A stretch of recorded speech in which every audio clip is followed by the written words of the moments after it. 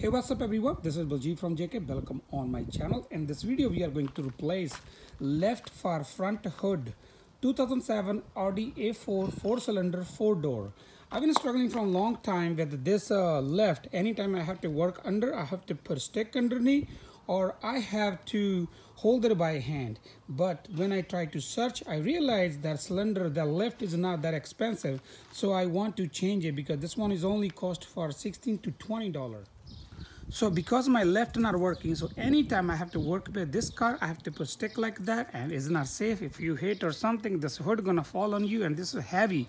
It can, uh, it can hurt you. So I start searching online and I realize it's not expensive. It's under $20. So I bought it from Amazon about for $18. Uh, I will also leave a link in description so you can buy from the link if you're looking for right exact match because I also see people struggling when they're changing. This is hard. You have to live left out because there are probably right side. So you have to buy right side. There's multiple choice. You can go online. They say it's matching to your car, but it's not. So now we are going to change. To remove this cylinder, you need a something. You need a needle nose plier. You need a, this kind of screwdriver flathead. You just put it here and do like that. So this will come off.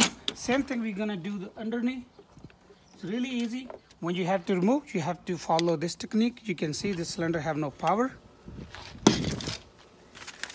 For installation, you don't need any tool. I'm gonna put camera far so we can see. This one already pre-packaged in this one. I have to cut it, see what we get inside.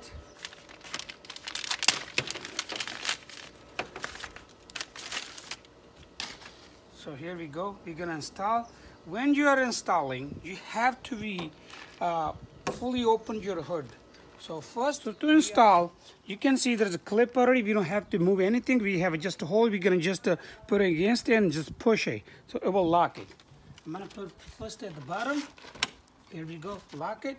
Now the time to go up, pick a little bit hood accordingly. That's it, that's all you have to do. Now you're happy to use Easy Life that's all you have to do. That's the way you can uh, replace front hood left on your Audi.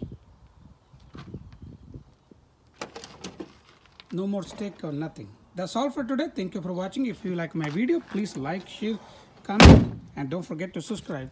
Thank you for watching. Meet you in next video with a new topic